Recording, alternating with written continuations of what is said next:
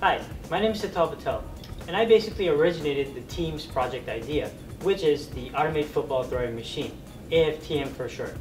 What is the AFTM? The AFTM is basically a football passing machine that tracks a receiver while in motion and then propels the ball towards him. And every time he will have an accurate and precise catch while in motion. Now how does it do this? It does this by using a set of webcams and tracking software deliver the ball right on target. This will be used for athletes such as running backs, receivers, tight ends, and even defensive backs within college, semi-pro, and even pro level. Even youths can use it. Now, in this video, we'll discuss our progress so far. Thank you. Hi guys, I'm Javier Liu. I'm going to be working on the tracking portion of our code. And I'm Stephen Smith, and I'll be working on the distance acquisition of our code. So to start off, I just want to give, show you guys the actual code that I'm going to be working with. So as you can see right here on my computer, I'm highlighting over the code that we'll be mainly changing uh, for the tracking and for the, the distance. Right now, this image right here is what you see the camera tracking currently, which is our cameraman Vernal.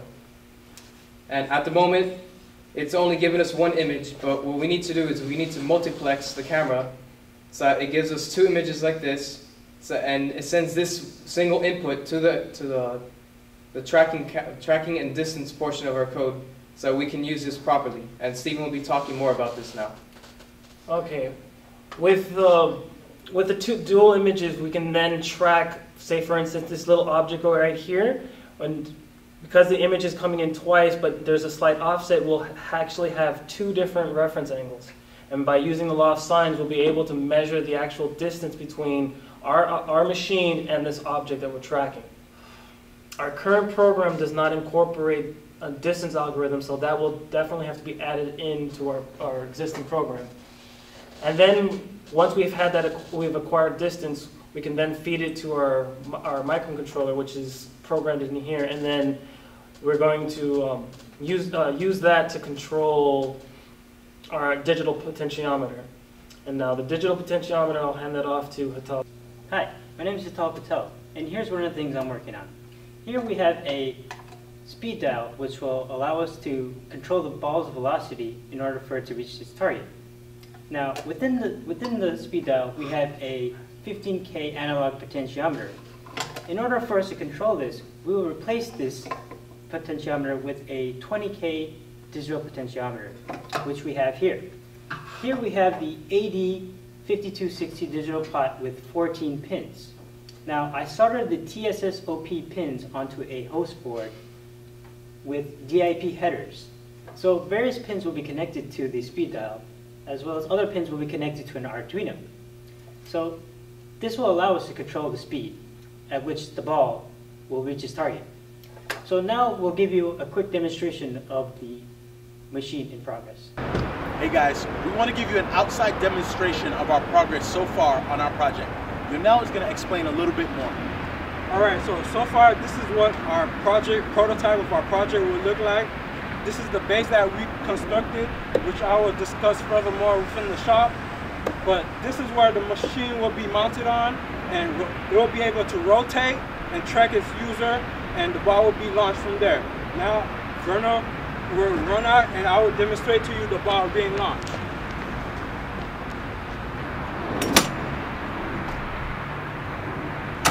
Hi guys, we brought you inside to give you a closer look at our project's progress so far. My name is Vernal Green, this is Hital Patel, and this is Yonel Jove. Us three together, as a part of Team AFTM, Team 16, we were overall responsible for the hardware and the, how the ball will be launched and propelled at its target. What, what Yonel will explain is the parts that he was responsible for, and then Hital will explain the parts that he was responsible for, and I will explain what I was responsible for. First, let's start off with Yonel. Hi, I'm Yonel Jobin, and as I discussed earlier, here's the platform that we will have for our machine. Here we have a cart, which will allow this machine to be mobile. Next, I just redesigned this base here at this particular height to allow clearance for this shaft right here on the machine to allow it to rotate freely Next, we're, we're gonna create a hole here and we're gonna attach a servo motor underneath here where we're gonna attach this machine on top of this platform. Next, we'll have Hital who go into more detail. So what we have, what we're gonna have is we're gonna have a half an inch thick plate. In the plate, we're gonna have eight holes drilled through it, and then we're gonna attach six millimeter bolts that will go straight through it, and it will attach to the servo motor underneath. That will allow the, the plate to rotate. Um, then we'll weld the plate onto the base of the jet machine. And then underneath the base, underneath the plate, we'll have a lazy Susan, which will allow, will evenly distribute the jet machine weight, so it'll freely rotate. Next, Vernal will discuss this part. Hi guys, again my name is Vernal Green. As you can see in the demonstration that we did earlier, a little bit earlier in this video, we had to manually push this loading slot through the tires for the ball to be fired at its target. What Team 16 proposes is to use something called a linear actuator, which is something like a motor, which by we will remotely press a button and will push the ball through the tires and will be fired at its target and it will, it will be attached underneath, and it will, it, the, the, the linear actuator will push through the, the, the, the tires to launch the ball at its target. We will attach the linear actuator right here with, with some C-clamps, and then the, the actuator will, will push out when we press our remote, and the ball will be pushed through the tires. That is our method of firing the ball at its target. This was our demonstration video. We spoke to you about the hardware, how the ball will be propelled at its target.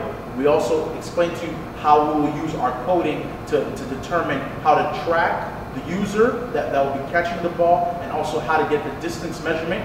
We spoke to you about how we will change the, the, the speed dial to, to determine what's at what speed we need to fire the ball to, to make sure ensure that we get it directly to the target at a place where the user can catch the ball.